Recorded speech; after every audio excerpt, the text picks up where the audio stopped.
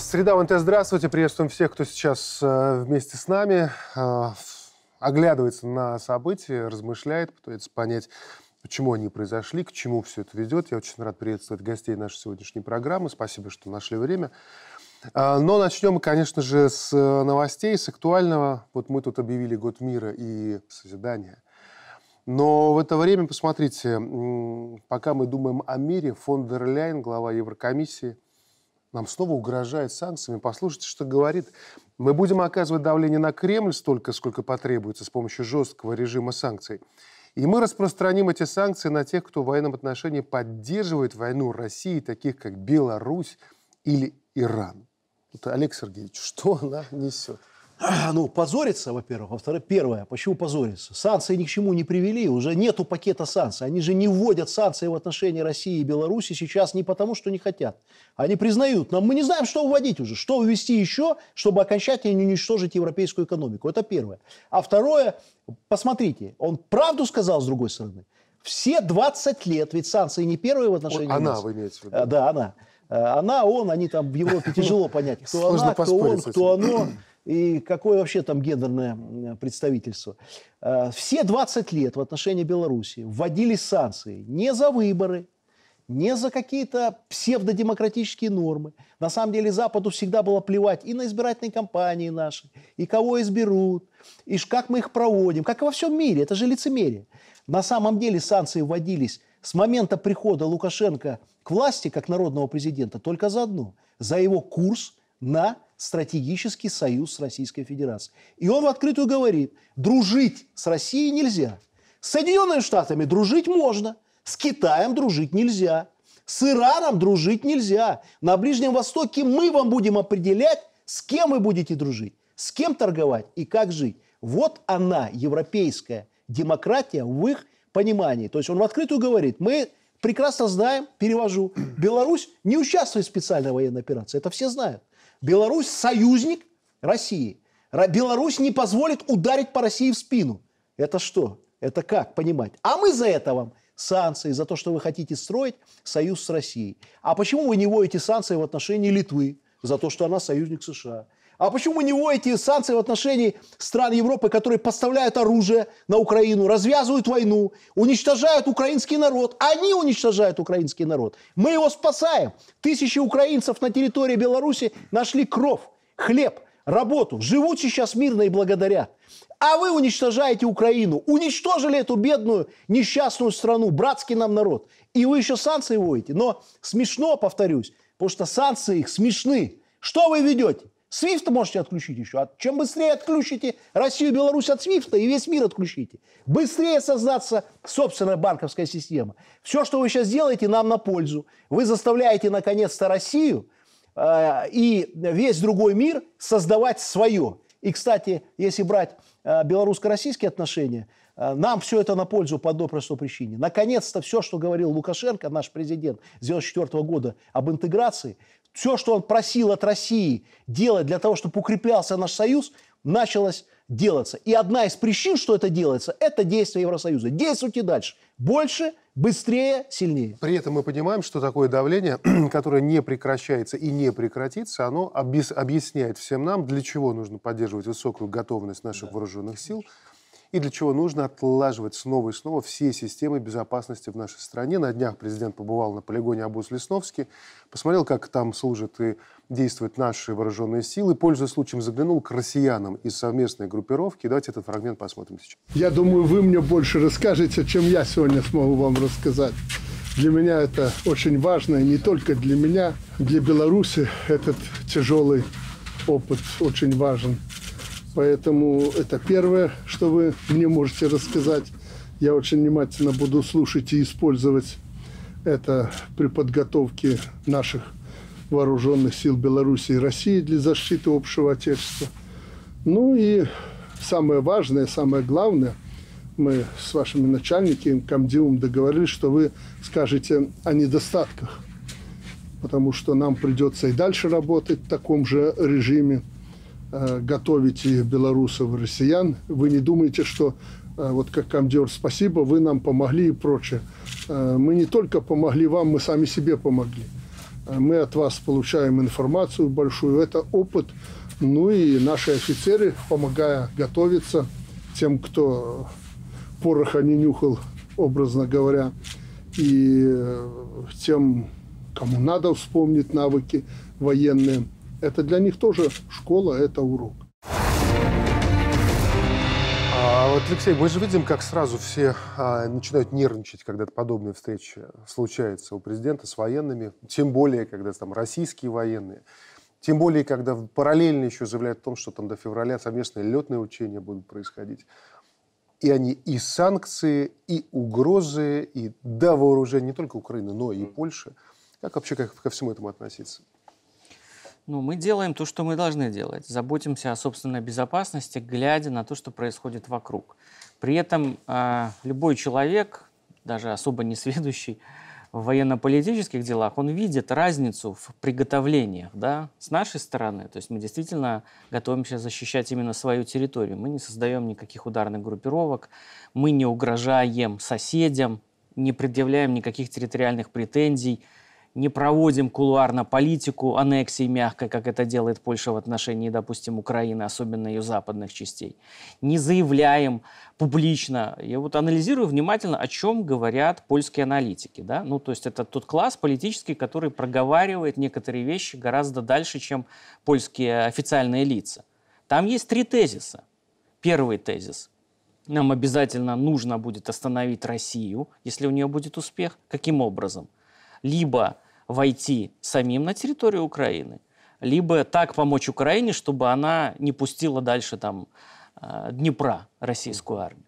Второй тезис. После достижения успеха на Украине у нас задача Беларусь, потому что нужно выбить э, Беларусь из альянса с Россией и, соответственно, ослабить Россию. Третий тезис. После того, как выбита Беларусь, Россию выдавить вообще из Европы в Сибирь примерно на уровне 17 века, чтобы она находилась. Ну вот, как говорил Патрушев, сделать из России Московию. Вот это открытые планы аналитиков, плюс-минус там нюансы, как мы это будем достигать. Например, опять дискуссия.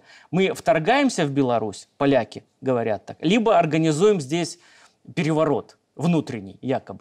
Вот о чем мы не говорим. Либо и то, и другое. Либо и то, и другое. Ну, то есть гибридная да. такая вторжение. Устраиваем заваруху, а потом Соответственно, все, все, что мы делаем, это направлена на то, чтобы не допустить таких э, планов, чтобы обеспечить нашу безопасность и не позволить реваншистам и империалистам Запада создать вот эти барьеры, кордоны и новые, скажем, э, разграничительные линии. Вячеслав Викторович, ну серьезная угроза, угроза сейчас со стороны э, Польши исходит. Мы же наблюдаем, когда они э, вооружаются до зубов, их военный бюджет сейчас, там, если возьмем совокупные траты на военные цели, там под 30 миллиардов долларов – закупают танки у немцев, у корейцев, и мы понимаем, что это не оборонительная а, техника, а наступательная техника. Конечно, безусловно. Пехотные так. дивизии, прочее, да, прочее. Можно через, через запятую. Это очень коррелирует с тем, что сказал только что Алексей Валерьевич. Абсо- абсолютно так. И мы, наше руководство во главе с нашим президентом, прекрасно понимает ту угрозу, которая существует. И правильно абсолютно мы делаем, когда в рамках нашего союзного государства с Российской Федерацией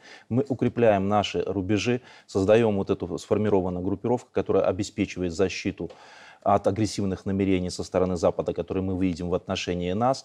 И те вещи, которые муссируются, вот о чем говорил наш уважаемый коллега в польской элите, да, которые озвучиваются, эти территориальные претензии, в свое время они заявили, что им уже и мало значит, восточных кресов каких-то, да, значит, когда а им нужна вся Беларусь, значит, и они эту свою политику так либо иначе стремятся проводить, забывая, значит, и не учитывая исторические уроки. Фактически, опять же, Польша, посмотрите, она, а, получается, у нее чуть ли не кругом враги. Ну, понятно, да, на Востоке традиционно, значит, Россия, ее союзники для польской элиты, это, значит, враг номер один. Но на Западе что у них? Они сейчас с Германией какие отношения? Ну, вот мы а, говорим про элиту, а местное да. население как настроено? Ну, Какие нас... настроения там? Как я, я думаю, все-таки население среди э, поляков достаточно здравомыслящих людей. Я думаю, большинство населения не стремится к войне, которые пытаются как так либо иначе продвигать вот эти польские элиты и прочие вещи. Но я хотел бы обратить внимание на то, что фактически-то ведь элита, она начинает начинает ссориться со своими соседями. Да? Значит, вот на Западе отношения с Германией, эти,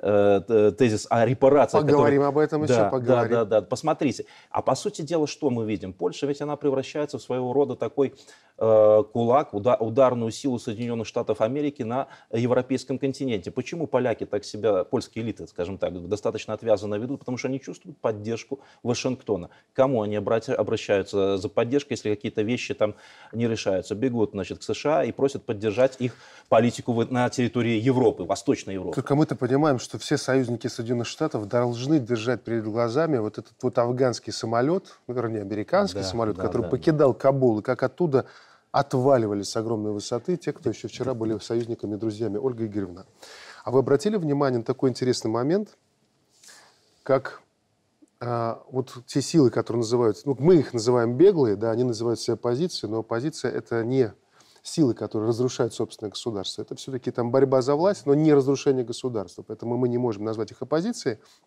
Поэтому, наверное, беглые самое лучшее определение для них.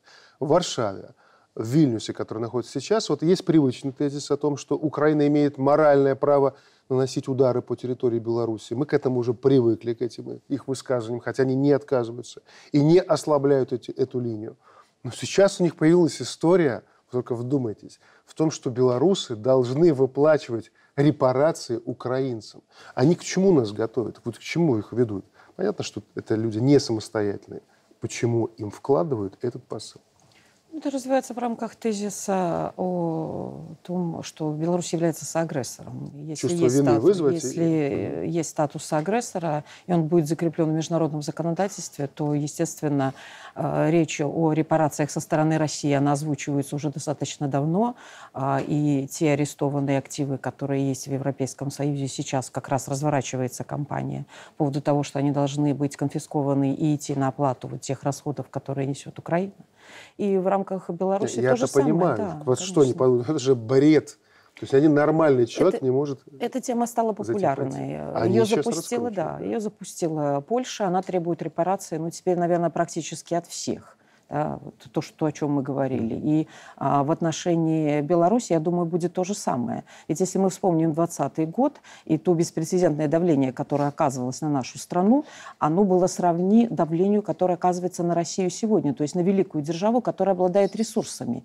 А, и то, что происходит сейчас, то есть нас а, сравнивают а, с Россией, и никто не будет стесняться. Я бы по этому поводу вообще никаких иллюзий не испытывала. Того, что в отношении Беларуси, как средней или даже малой державы, будут применяться какие-то иные меры. То есть вот эти ребята, ведь сейчас, Алексей, сейчас, ведь это уже было. эти ребята проговаривают, да. что будет с нами, да. если Россия проиграет, как если Россия проиграет, да, как основной. То есть они таким образом дают белорусам понять, что если у вас еще какие-то сомнения остались, то имейте в виду, вас сотрут в порошок. Это как образ будущего для нас. Образ Будьте как рабы, бесконечно какие-то да. репарации выплачивать, непонятно какие. Я бы единственное разделил беглые и лидеры беглых. Эту риторику, вот уже разочарование там огромное. Риторика это среди тех, кто находится на полном содержании своих хозяев западных, польских, Соединенных Штатов Америки. А их риторика всегда зависит от того, что им сказали. Сейчас главная тема Украина. Беларусь, как бы, что бы они ни хотели, ушла с повестки международной. Ушла. Понятно, что нас пытаются обвинить с агрессией, но все понимают, что основная борьба за будущее Европы развернулась на Украине. Соответственно, риторик. Второй момент. Мы сейчас видим, что основные деньги уходят туда, на Украину, на поддержку этой войны. Им остается мало. И для того, чтобы что-то получать, они любой ценой примазываются к, этой, к этим вопросам. Но что они делают? Делают это очень цинично и подло. Мало того, что они говорят бомбить нашу страну, уничтожать детей и стариков. Мало того, что они говорят, что мы должны кому-то платить. Хотя если мы никогда этого не говорили, вся Европа нам должна. Все нам обязаны. Все должны нас благодарить до конца всех поколений за то, что мы освободили от фашизма. Какую цену мы заплатили наши деды-прадеды. Не заплатила ни одна страна Европейского Союза. Но мы никогда так себя не вели. Потому что мы всегда выступаем за единую мирную Европу. Вот вы сегодня один тезис сказали. Кто выступает за войну э, в Европе? Да никто. Если взять народ, ни одна страна Европейского Союза народ войны не хочет. Так вот, самый главный теперь ответ. Где власть народная? Вот в нашей стране президент народный, они там начинают говорить выборы, шмыборы. Так президент делает то, что хочет народ. Наш народ войны не хочет. Мы хотим мира, мы хотим нормально жить, нормально торговать, нормально развиваться. А польский президент, это народный президент – Пройдите по Польше, люди хотят с Беларусью торговать, с Россией торговать. Пройдите по Литве, литовцы хотят, сколько их приезжает сюда. Чтоб они там не рассказывали, тысячи литовцев здесь. Тысячи литовцев обходят санкции любой ценой, лишь бы торговать с Беларусью и Россией. Так кто народная власть, а кто не народная? Была бы в Европе народная власть, давным-давно бы мир на Украине был. Вот и все. А там а, предатели. Алексей Валерьевич, а действительно про население. Вот мы говорим про Польшу. Какие там настроения? Вы наверняка этот вопрос тоже исследовали. Конечно. Ну, я бы здесь тоже не был слишком большим оптимистом, потому что а, шовинистические, милитаристские настроения в польском обществе распространены. Есть. Я бы сказал, что польское общество расколото, и, допустим, поддержка правящей партии, она не настолько преобладающая. Да, допустим, больше 50% курс поддерживает, но 25-30 или 35 с нюансами, да, они выступают за другой курс. Другое дело идет накачка. Да. Пропаганда и вот эти примеры, допустим, с атакой польской территории, это же подается фактически как агрессия прямая Польши. То есть это используется правящей группировкой для того, чтобы оправдывать свои действия и милитаристские приготовления. То есть если бы вот эти радары отключить, облучатели, которыми они польское население свое обрабатывают, да, и хотя бы объективную правду, хотя бы их польских политиков, чтобы они послушали. Ну, допустим, есть фракция в польском семье, которая говорит, послушайте, что происходит? Украинизация Польши значит, и в ментальном плане политический стиль, стиль агрессивный. Бандеровщина легализуется фактически, которая ну, является врагом историческим для поляков. Так ему затыкают рот, говорят, уезжай в Москву, польскому политику. Да, то есть э, до чего дошла уже, собственно, польская политическая культура. Хорошо еще не дерутся, хотя я не, не, это не исключаю всеми. Так вот, если бы дать хотя бы частичную объективную картинку в Польше, я думаю, настроения бы поменялись. И, конечно, они не знают, допустим, реальности нашей. То, что мы приглашаем поляков без виз, это очень правильно. Пусть люди простые едут, смотрят, рассказывают. Это народная дипломатия, она работает. Да, не такой большой пока поток, но нельзя между народами, соседями вот эти отключать все коммуникации и связи. В этом правильно, правильная политика Абсолютно наша. в точку. Один из э, знакомых, который находится за рубежом, вот настолько вот дал понять, что они под плотным информационным куполом, когда он искренне удивлялся, когда ему говорил, что по центру Минска танки не ездят. Он был убежден, потому что им рассказывают о том, что танки военные С-400 там по проспекту где-то курсируют регулярно. Искандеры стоят возле цирка. Ну вот чтобы мы понимали про демократию, про свободные СМИ, которые есть сейчас на Западе. Вообще вся эта история с э, требованием Варшавы от Германии выплатить репарации за Вторую мировую войну. Ведь уже тянется несколько месяцев, мы за этим наблюдаем. И мы понимаем прекрасно, что поляки вот за этим требованием прячут что-то другое, но не желание получить репарации. Вот, Вячеслав Федорович, что ведь истинная причина какая? Ну, с моей точки зрения, истинная причина заключается в том, что Польша, польские правящие элиты видят себя лидирующей страной в современном значит, Европейском Союзе. Естественно, Германия для них определенно определенный конкурент в этой сфере, так называемая старая и новая Европа, как они говорят. И поэтому, используя поддержку Соединенных Штатов, они стремятся вот каким-то образом Германию значит, поставить в русло, показать ей новую реальность в Европейском Союзе, показать, что Польша это реальная сила, с которой надо считаться, и заставить, опять же, ту же самую Германию еще экономически ослабить с помощью вот этих э, выплат и репараций. Все мы знаем, в какой ситуации сейчас находится современная Европа в связи с этими их санкциями, которые они развернули против Российской Федерации Федерации подорвали, по сути, свою экономику, ну, кому это выгодно? Конечно, выгодно Соединенным Штатам Америки. И поэтому США через Польшу продвигает свои интересы по ослаблению Европы, фактически включая Европейский Союз э, в это вот военные действия, которые ведутся на Украине, через поддержку пока, возможно, Польша фактически вот готовится как ударный своего рода кулак Соединенных Штатов как, Америки. Когда начинает собака громко лаять? Когда? Когда э, лидер ослабил. И вот то, что сейчас Польша так себя ведет с Германией, говорит как раз-таки о слабости самой Германии. А европейцы видят, что Германия не э, ведет лидерские позиции в Европейском Союзе. Это на Украине стало особенно очевидно. Потому что все, что сейчас происходит в Европе, на самом деле Германия должна была против этого выступать. Она должна была выступать против прекращения поставок газа в Европейский Союз. И, кстати, вспомним, буквально несколько лет назад Германия была той страной, которая отстаивала именно это, чтобы Северный поток запустить, чтобы экономические отношения с Россией продолжать. Нету этого. Дальше. Украина. Германия должна сейчас отстаивать мирные переговоры, прекращение боевых действий, немедленно, значит, э, э, убрать линию огня и договориться с Российской Федерацией на любых условиях. Этого не происходит. Это видит весь Европейский Союз. Они прекрасно понимают, что судьбу Европы решает Соединенные Штаты Америки. Можно погавкать. И, конечно, немцам обидно. Они кормили Польшу. Германия была всегда локомотивом. Ну а второе, вся риторика польского э, руководства, вот в чем их ошибка. Ведь все жиждется только на США. Вся мощь, вот эта якобы мощь польского режима, польской э, элиты без поддержки прямой Соединенных Штатов Америки ничего не стоит. Потому что никогда у них ничего без Америки не будет. Но это все может прекратиться. Но пока не прекратится. Почему? Американцам нужна Польша расколоть Европу и плацдарм против России и Беларуси. Они ее накачивают. Но страдает кто? Польский народ. Ольга Игоревна, а вот вообще что за стиль такой союзничества внутри коллективного Запада, когда они так как заклятые друзья, как скорпионы в банке, с одной стороны у них есть общий враг Российской Федерации, с другой стороны они постоянно жалят друг друга? Ну, я бы вспомнила еще о том, что у нас 2023 год и электоральный цикл очередной в Польше. Mm. Это как бы вопрос номер один. А, и эта тема, она очень благодатная для того, чтобы повысить интерес э, к партии и к тем шагам, которые она предпринимает. С учетом того, что развивается параллельно конфликт э, с выплатой из ковидного фонда для Польши в связи с нарушением той же самой демократии. Это первый момент. И э, второе – Э, Все-таки Польша, несмотря на свою большую заявку э, и Соединенные Штаты поддержку, не заявляет о том, что она будет э, вторгаться даже в Украину в одиночку. Она не собирается этого делать. Все-таки здесь НАТО.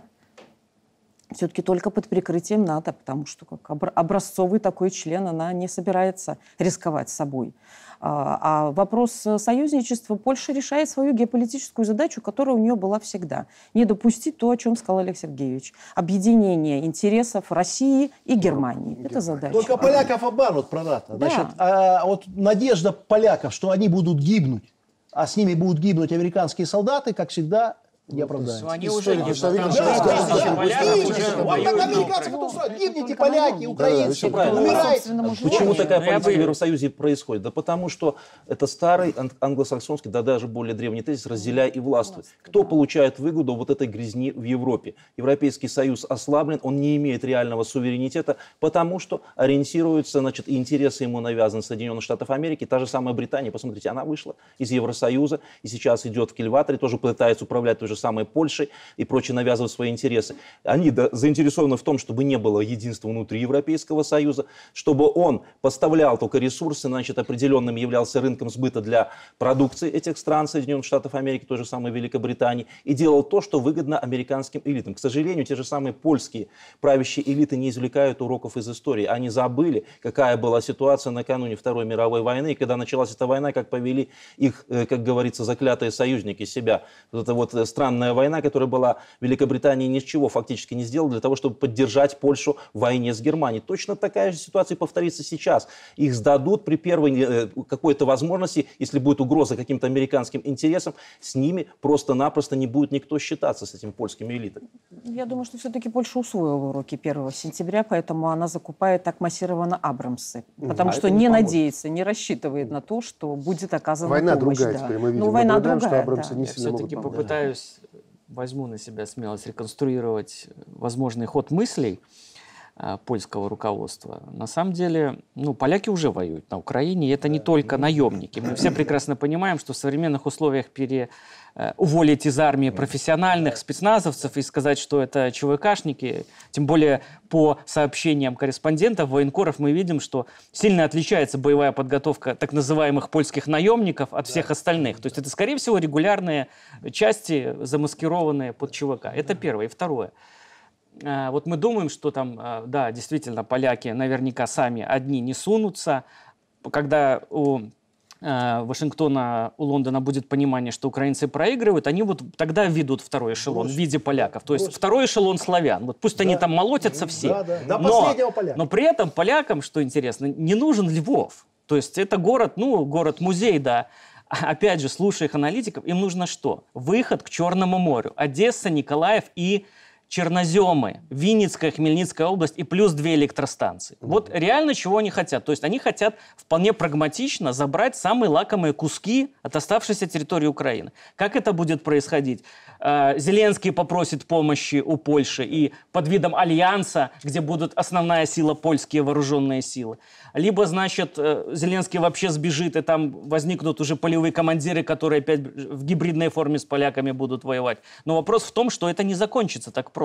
Да. Даже если вооруж... Э, военное поражение будет нанесено сейчас украинской армии, второй эшелон – это Польша, Западная Украина и все, что будет происходить. Вот и это прямая это угроза это нашей безопасности. Вот это будет прямая да. угроза нашей безопасности. Вот мы говорим сейчас о, о тех, кто стоит за кулисами и дергает за ниточки, в том числе в отношении Польши. И мы чаще всего привыкли говорим, что англосаксонский мир не только Соединенные Штаты Америки, но, конечно же, Великобритания. Англичанка как гадила, так и продолжает гадить. Но при всем при этом гадят и самой англичанки. Откровение э, принца Гарри, который в своей книге «Запасной» нанес удар по своим же, как казалось бы.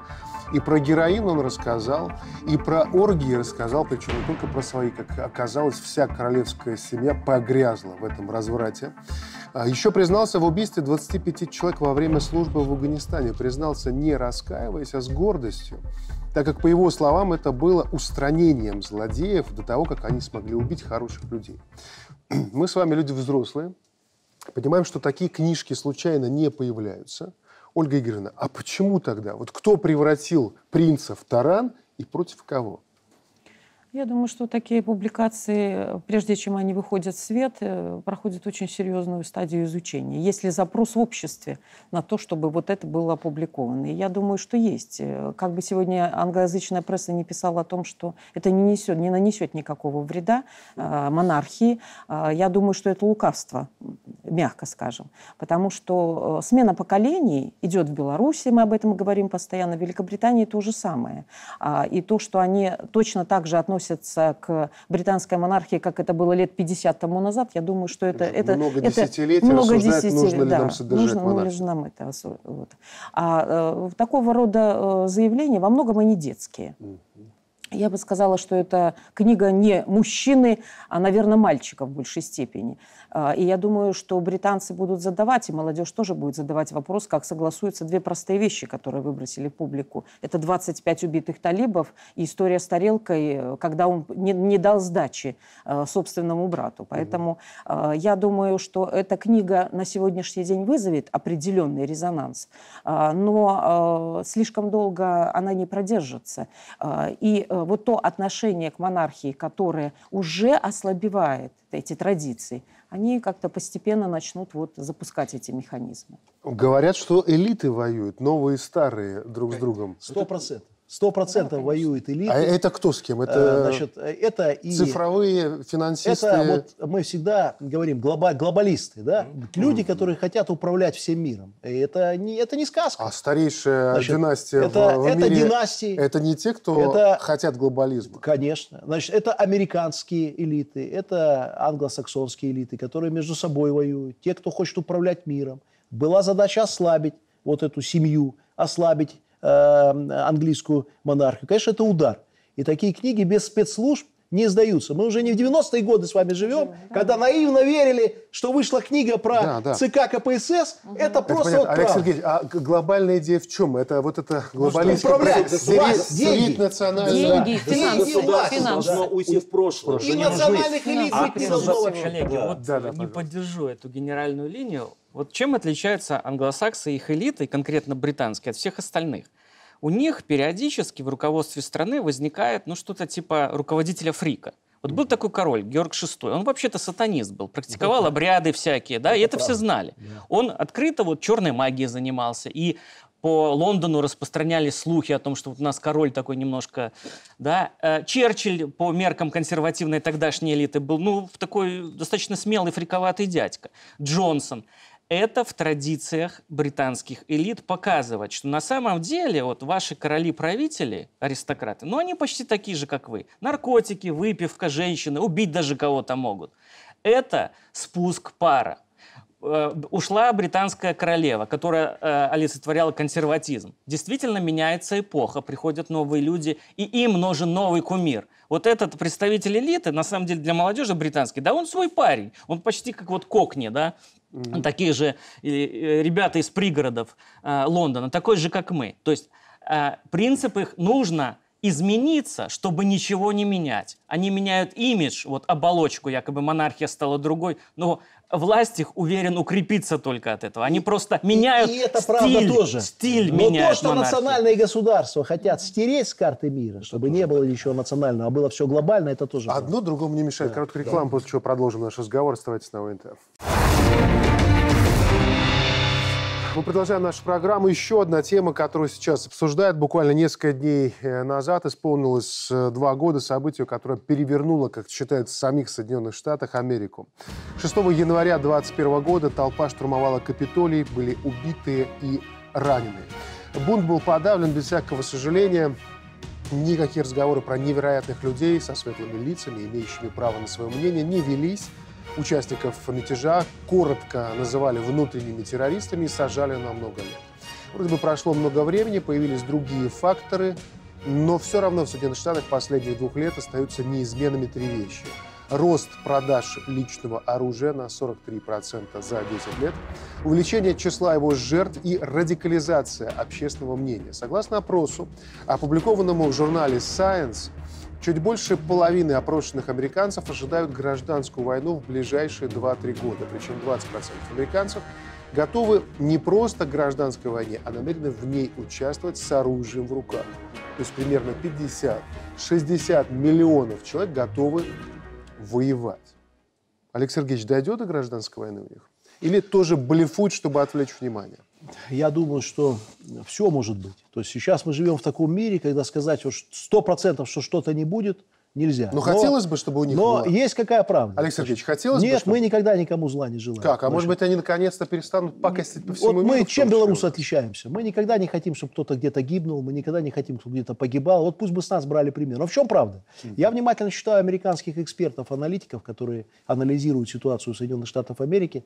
Они все говорят, что вызов номер один для США сейчас не внешний фактор, не Китай, не Россия, как бы они про это ни говорили, а именно внутренние противоречия и проблемы.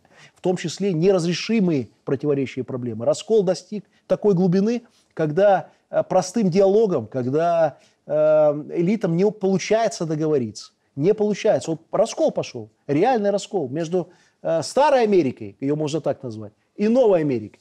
Значит, и э, вот этой либеральной Америкой, излишне либеральной, радикально либеральной, которые уже этот либерализм возвели чуть ли не в ранг диктатуры и фашизма определенного, когда да, тоталитаризм, когда другое мнение отлично от этого либерализма иметь нельзя, ты объявляешься сразу врагом. И эту политику они проталкивают на, на весь земной шар. И из-за этого внутри Америки огромный раскол. Будет ли война, не будет, я не знаю. Я знаю одно, что гегемония Америки навсегда закончилась и уже не возродится. Для меня, например, это понятно. Кто-то со мной может поспорить. Но они ушли из Ближнего Востока, проиг, вернее, проигрывают Ближний Восток. Они не ушли, они еще будут за него бороться. Они проиграют Европу. Вот то, что они сейчас творят на Украине, они потеряют Европу. Я в этом убежден. Россию они на колени не смогли поставить и не поставят. Китай они на колени не поставят. Индия проснулась. Ближний Восток просыпается. Поэтому в конечном итоге им придется сосредоточиться на внутренних проблемах, а я бы давно сосредоточился. Один из успехов Трампа причина – это то, что он говорил. Давайте заниматься Америкой. Давайте заниматься Америкой и нашими проблемами. Хватит всех кормить, хватит везде лезть, хватит все решать. Другое дело, что он не договаривал, что весь успех Америки и все ее материальное благосостояние жизнилось все эти столетия за счет других – принципе, как и Европейского Союза, который жил все эти, например, последние 30 лет после развала СССР только за счет стран постсоветского пространства. Все, что они сейчас имеют, мы дали. Мы дали им ресурсы, мы дали им лучшие умы, они повыкачивали у нас за годы развала СССР.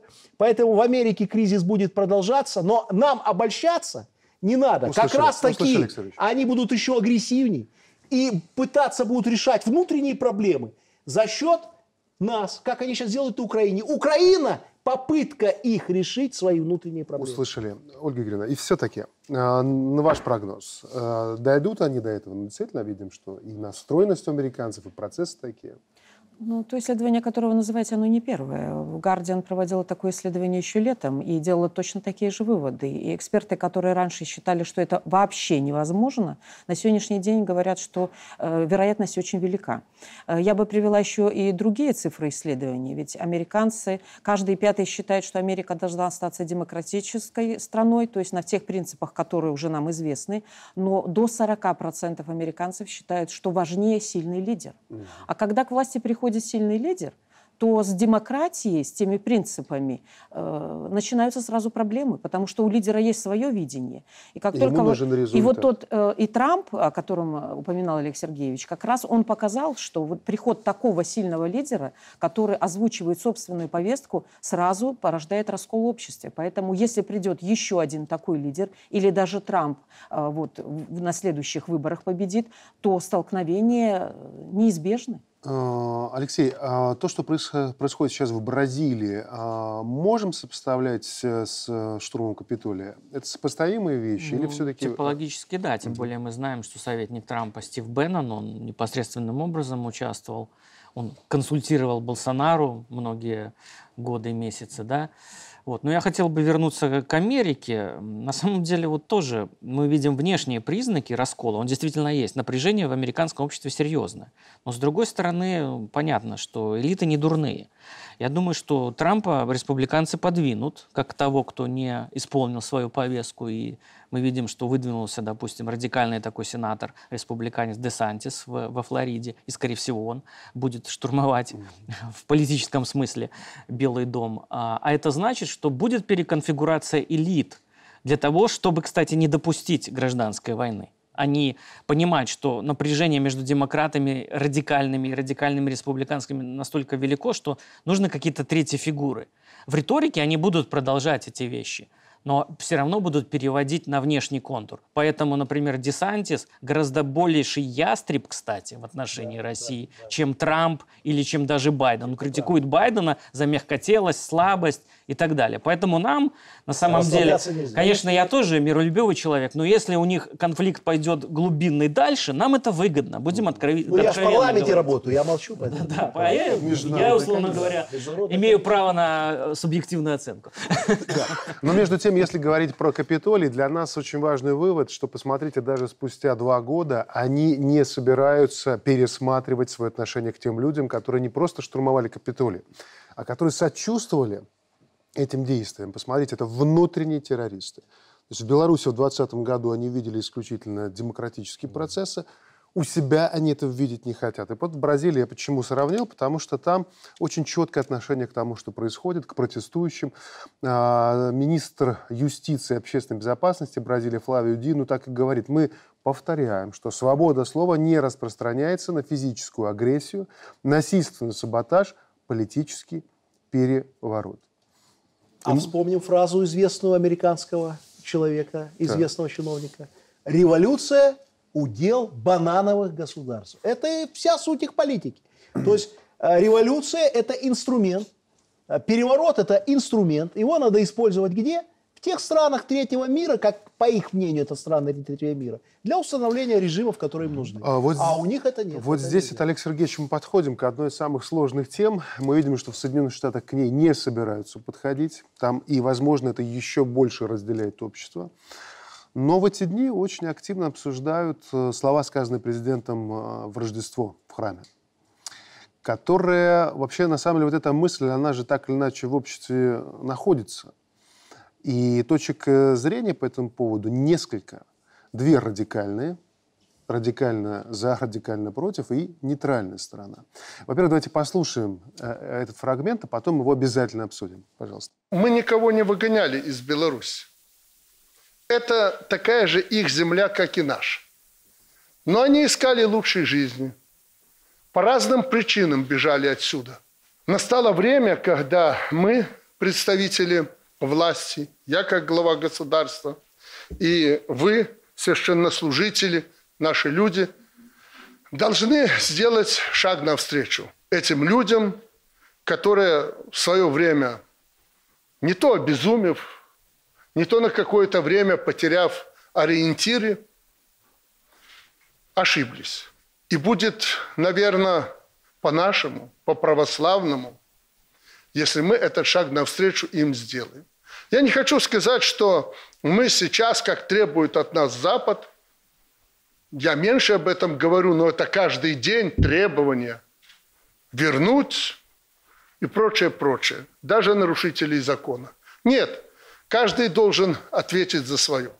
Но я уверен, что среди и тех бежавших, и тех, которые живут сегодня у нас, глубоко раскаявшиеся люди, люди, которые поняли, что ошиблись, они не должны быть выброшены на обочину. Мы не должны Э, создавать точки напряжения в нашем обществе. Поэтому мы сделаем соответствующие шаги в том направлении, чтобы Беларусь была мирной, спокойной, чтобы мы не смотрели косо друг на друга. Вот такой тезис. Олег Сергеевич, как вы это видите себя? Ну, во-первых, это слова сильного человека, сильного президента, сильного лидера – и только сильный способен на сострадание, только сильный способен на объединение, только сильный способен на то, чтобы говорить то, что говорит наш президент. Как я к этому отношусь? Отношусь я так, что те, кто совершил уголовное преступление и предал страну, э, лидеры в первую очередь, те люди, которые э, годами находились на содержании Запада, совершили террористические акты. Мне он детей хотели убить значит, чуть не сожгли. Как я могу относиться? Я э, давно простил лично я сам. Но такие, мне кажется, За детей простить не могу. Значит, э, таких людей мы должны всегда, они должны знать, что закон, уголовное законодательство для всех одно, и наказание неизбежно. И здесь не может быть ничего другого. Да и вообще мы живем в правом государстве. Все, что мы делаем, кстати, мы делаем исключительно по закону. Но есть еще одна сторона медали, о которой говорит президент. Это люди, которые обманутые политтехнологиями, обманутые лидерами так называемыми, поддавшись эмоциям, не совершив уголовных преступлений, не совершив уголовных преступлений, возможно, совершив административное какое-то правонарушение. Они на эмоциях э, уехал кто-то, сбежал, убежал. Как с ними быть? Многие из них раскаялись, на самом деле раскаялись, увидели эту западную демократию. Как быть? Вот здесь надо делать как президент, по закону. А если они не совершили преступления, а самое удивительное, это происходит сейчас. Вы знаете, сколько людей сейчас возвращается в Беларусь с Варшавы? Э, и это же ложь, что всех их сажают по тюрьмам. Это ж обман. Это специально утку запустили, чтобы люди не возвращались. Ведь это крах этих беглых лидеров. Крах. Потому что в них уже никто не верит давно. И люди продолжают возвращаться. Так вот, моя позиция, по словам президента, простая. Делать все по закону, как Лукашенко всегда и требовал. По закону. Значит, но то, что мы будем делать то, чтобы объединить белорусов, да мы уже делаем. Новая конституция – это не шаг к демократии, шаг. Единый день голосования в 2024 году – это не шаг к демократии, шаг. Закон о политических партиях, который мы сейчас примем, шаг, шаг. Да мы уже за эти два года сделали все для того, чтобы люди разных политических взглядов, которые всегда будут, имели право свои мысли выражать, имели право участвовать в политической жизни, но только, ребят, как раньше не будет. Когда у нас пятая колонна процветала, когда у нас Услышали. выборы вмешивались. Услышали, вот этого не будет никогда. Вячеслав Викторович, вижу, что вы поддерживаете, в принципе, то, что Конечно, звучит. конечно, абсолютно, с моей точки зрения, правильный, выверенный шаг. Он соответствует духу как раз-таки нашего года мира и созидания, который у нас объявлен 2023.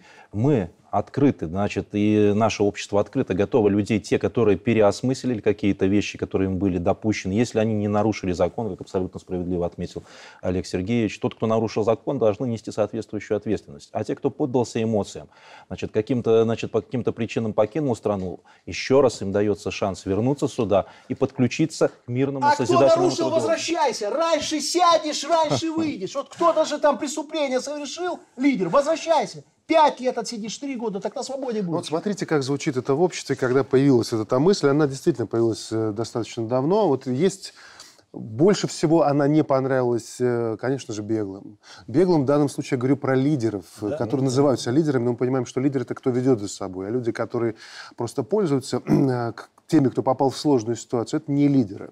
Так вот, такие против, потому что они видят реальную картину и понимают, что значительное число людей вернется в свою страну. Мы понимаем, какое сложное наказание быть отрезанным от Родины. Конечно. Есть другая часть, которая называет себя новыми патриотами. Которые тоже достаточно радикальны, смотрят на все это таким образом. Они говорят, вот мы сейчас пойдем им навстречу, а пошли бы они к нам навстречу или нет. Это раз. А второе, как нам таким образом не допустить то, что в итоге привело к 2020 году тем событиям. Есть и другая часть, которая, в общем-то, наверное, должна всех объединить, которая сводится к тому, что без некого консенсуса мы не создадим общество, которое сможет пройти те испытания, через которые сейчас проходит весь мир, в том числе и мы. Вот, Алексей Валерьевич, как вы смотрите на этот вопрос? Ну, я бы действительно разделил э, вот, категорию тех, кто уехал, на несколько уровней. Да? Первый – это те, кто, ну, на самом деле, ничего особого не совершили, испугались, уехали, подались панике. Да? Таких большинство. Есть часть, которая, допустим, участвовала в незаконных митингах, и там есть формальные основания юридические привлечения к ответственности. Да. Но ведь если человек придет и скажет, я раскаиваюсь, я деятельно готов показать, никакой ответственности на самом деле, ну, такой серьезной не будет. Главное показать, что ты сам пришел и говоришь, все, это были ошибки, я раскаиваюсь, я уверен. И сотни случаев, когда наши правоохранительные органы идут навстречу после таких вот шагов, да, с, с той стороны. И есть, конечно, экстремистская небольшая часть, которая уже совершила серьезное преступление. Так вот, протянутая рука, конечно, касается большинства наших граждан, которые либо ошиблись, оступились, и они могут воспользоваться этой возможностью. Теперь про опасения, значит, такой э, яркой патриотической части общества. Коллеги, ну так вот эта волна, которая пробудилась патриотическая, она и должна быть на страже. Если мы видим, что где-то что-то опять начинается – ну, гражданское общество есть, оно возникло, на, и оно работает сейчас. Посмотрите реакция людей на разные явления, которые реликтовы еще с той эпохи, да, до 2020 года. Власть слышит, как с латинкой, допустим, или еще с какими-то проявлениями. Конечно, власть должна внимательно наблюдать, то есть не допускать конфронтации. То есть надо реагировать, надо ну, разбираться, ну, решать проблемы, если они возникают. Ну, слава богу, вроде это и происходит. А если те люди, которые вернутся, захотят влиться, нормально заниматься, то все у них будет нормально. Никаких проблем они создавать не будут. А политически выражать свое мнение могут через законные формы. Партия, парламент, выборы и так далее. И Поэтому... одно замечание, не могу промолчать. Значит, это не должно никогда касаться чиновников, кто предал. Предал чиновник, все, это предатель, которого ну, во всем это мире это невозможно. Это изменение государства. Да. Второй момент, который мы не должны никогда забывать. Я совсем согласен. Но нам объявили войну. Она не объявлена официально. И эта война не закончится. Впереди две электоральных кампании серьезные. Мы вступаем в этом году в них. Это 24 год, единый день голосования, и президентские выборы 25 года. В 24 году мы сформируем себе белорусское собрание. Мы должны понимать, никто их спокойно нам провести не даст. Это иллюзия. Они будут делать все, западные центры, разведки, любыми способами раскачать ситуацию. Никто от нас не отстанет. А, вот вы, это против, а вы против гражданской войны в США при этом? Я же депутат международной комиссии. Это в название вынесем. Обязательно. Ольга Игоревна, ваше видение вот этой ситуации. Я бы обратила внимание э, на то, что президент сказал о людях, которые уехали по разным причинам. Не бежали, а уехали по разным причинам. И сегодня э, социологические опросы в той же Польше показывают, что белорусы испытывают очень серьезное давление э, со стороны патриотов таких же польских. Поэтому я думаю, э, что обращение президента было направлено и на тех лиц, которые ничего вообще не совершали, но уехали в силу каких-то своих личных причин. Возможно, хотели заработать и молодежь. Нужно помнить еще о молодежи, которая училась там э, и которая, возможно, сегодня не находит там своего места в связи с событиями. Поэтому их э, возвращение для нас тоже очень важно. И то, что президент говорит об этом сегодня, я думаю, что он абсолютно уверен уверен в том, что у нас созданы все механизмы. И новым патриотам, наверное, не о чем беспокоиться. Президент, безусловно, владеет да, конечно. всей полнотой информации. Давайте очень да. коротко сейчас еще один фрагмент, очень важный. Мы как раз говорили сегодня много о контексте, вот в том числе и тех решений, которые принимаются внутри страны. А что это за противостояние? Что это за условия, в которых общество наше как никогда должно быть крепким и монолитным? Давайте послушаем слова президента, сказанные им накануне во время церемонии э, награждения премии за духовное возрождение. Пожалуйста. Наш пример – это реальный вызов проекту глобальной унификации под ультрамодные ценности и так называемые тренды – навязанная всему миру. Понимаем, что за этой культурной экспансией, как ее еще называют мягкой, следуют совсем не мягкие, я бы даже сказал, весьма жесткие для независимых государств последствия. Потеря государственности и суверенитета, потеря себя как народа. Получается, что вот та основная битва, которая разворачивается за свое, за свой народ, за свое национальное, за свое государство. И в этом контексте наш год «Мир» и созидание. Э, как наполнить это конкретным содержанием? Я думаю, что э, эта повестка не только внутренняя, но и внешняя. А, вот ситуация показывает, что э, голос Беларуси, несмотря на то, что нас лишают субъектности наши соседи, говорят о том, что мы идем в русле российской повестки, а, то, что делает Беларусь внутри страны, все те процессы, которые идут у нас, они вызывают живейший интерес. Поэтому я думаю, вот та повестка, которую мы объявляем на следующий год, она не только внутренняя, она глобальная. Потому что темы, которые мы заявили, это мир, это наш бренд, Uh-huh. И созидание – это образ будущего, который Беларусь предлагает не только собственным гражданам, но и тем, а, кто стремится жить в состоянии войны, кто считает, что война – это такая жизнь. Вот мы как раз пытаемся этой новой повесткой... Это такой маркер да, для всех, кто на нас смотрит, всех. что мы да. за мир и мы за созидание. Мы за будущее. Разделяйте, да. мы с вами. Да, разделяйте, мы с вами. Сумеем ли мы прощупать к концу года, что мы сделали? Угу вот как год исторической памяти мы можем немножко, наверное, нащупать какие-то результаты. А, вряд ли. А, но то, что а, эта повестка востребованной будет, это просто не обсуждается. Вячеслав Викторович. Ну, с моей точки зрения, очень важно, чтобы каждый из нас, вот этот год мира и созидания, который у нас объявлен, прочувствовал свою ответственность, потому что от каждого из нас, от нашего труда, от ответственного подхода к порученному делу зависит мир и благополучие нашей Беларуси. Поэтому мы должны четко для себя это понимать. И что нам необходимо сделать? Необходимо честно исполнять свой долг, свой, трудиться, делать то, что поручено, и от этого будет мир и благополучие в нашей стране. Вместе с тем, мы с вами говорим, много и тоже сегодня об этом звучало, э, в мире давно наспела вот эта повестка справедливости. Справедливости. В несправедливый однополярный полярный мир, он уходит в прошлое. Нам очень важно, не, во-первых, не потерять вот этот наш справедливый подход внутри своей страны. Кстати, вот то, что и сказал президент относительно тех так называемых белых, тоже справедливый подход. Если ты ничего не совершил, значит, ты поддался эмоциям, приезжай, возвращайся, включайся в созидательную работу. И с другой стороны, очень важно, чтобы страны, которые нацелены на вот это справедливое мироустройство, объединялись в союзы, которые будут создавать реальную альтернативу вот этому прогнившему уже западному однополярному миру. Алексей. Ну, я вспомню древнейший смысл слова «мир». Мир – это общность, единство. Мы говорим даже всем миром, да, то есть всем сообществом. Поэтому важно в этом году сохранять внутреннее единство, вот этот мир, мир-общину, да, нашу белорусскую, внутри общества. И шаг слова президента об этом, чтобы и те, кто где-то оступился, вернулись домой, вернулись в семью, так сказать. Хватит уже быть блудными сынами и дочерьми. И второй аспект внешний. Вот это действительно объединение мира для лучшего, более справедливого порядка. Вот это сейчас важно. И мы должны играть очень активную роль в этих интеграционных, переговорных процессах. Конечно, по возможности, насколько у нас хватает сил и возможностей, но делать это нужно. Наша роль востребована и была, и будет в этом. Знаете, Спасибо. Э, каждый год президент вручает вот эти премии в начале года, открывает год. Я всегда вчера сидел во Дворце Республики, слушал президента, смотрел на сцену, куда вышли номинанты, и седые, и молодые. И вот в этом году было по-особенному из-за года, который мы прожили. Вокруг что происходило, как давили, война. Я вот смотрел на сцену, смотрел на этих людей, которых президент награждал, слушал президента, и у меня вот, как, наверное, у тысячи белорусов, стало понятно, чем гордиться и за что бороться.